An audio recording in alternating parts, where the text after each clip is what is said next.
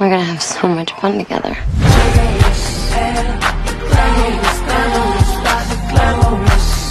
Joy. And how is any of this my problem?